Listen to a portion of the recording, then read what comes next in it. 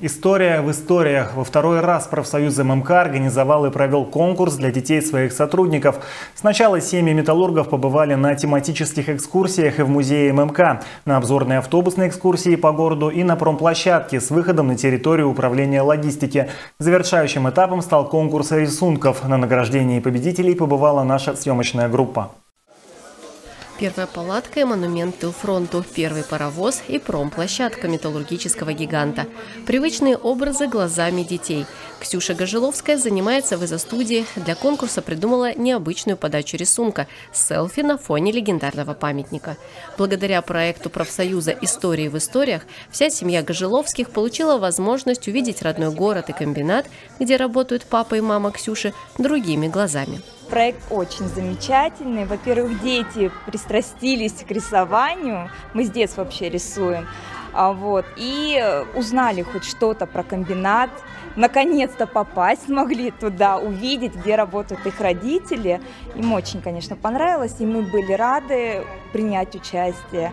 А вот, спасибо большое профсоюзу, в котором мы вступили, и как бы, в принципе, нам очень нравится. Там. В этом году в профсоюзном проекте участвовало 223 ребенка, вместе с родителями более 400 человек. Это проект, проект, который знакомит э, с рабочими местами родителей наших маленьких э, горожан. Он знакомит с историей города, он знакомит э, с историей первичной профсоюзной организации. Это целый комплекс. Поэтому пройти на рабочее место каждого из родителей, к сожалению, у нас технологического по технологии невозможно. Но в этом году у нас удалось договориться, и с соблюдением всех требований охраны труда у нас все-таки дети посетили рабочие места э, в ЖДТ. По итогам всех мероприятий ребята представили на конкурс 149 рисунков, которые оценивали члены компетентного жюри в четырех номинациях. ММК «Глазами детей», «Природа Южного Урала», «Археология», «Мой город». Финальный этап прошел в праздничной атмосфере, подготовленной творческими коллективами Дворца Орджоникидзе.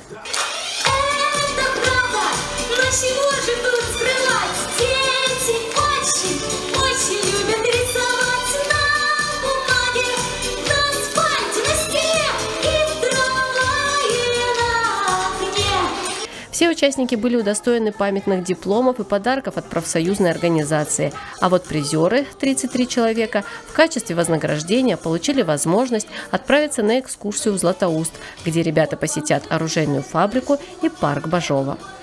Елена Старостина, Владислав Гусев, телекомпания ТВИМ.